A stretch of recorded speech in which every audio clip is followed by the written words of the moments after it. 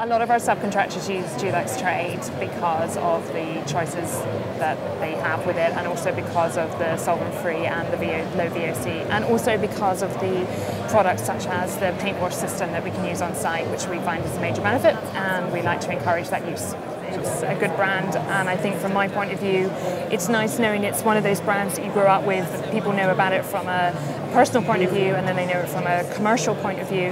and it's nice knowing that there are solvent-free and low VOC products that are addressing sustainability.